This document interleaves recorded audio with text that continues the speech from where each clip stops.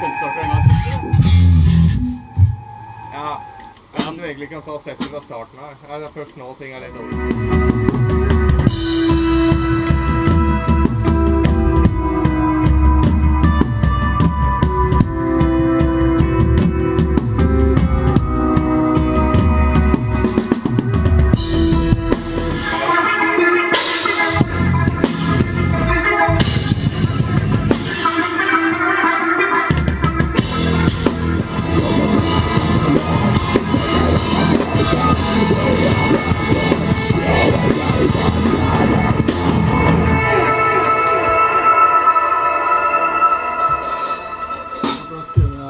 Thank you.